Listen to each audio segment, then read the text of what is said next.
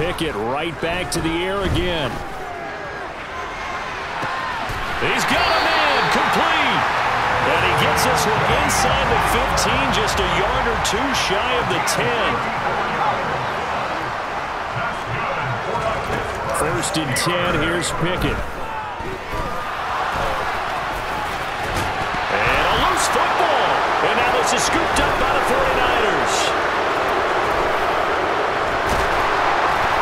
And he'll take it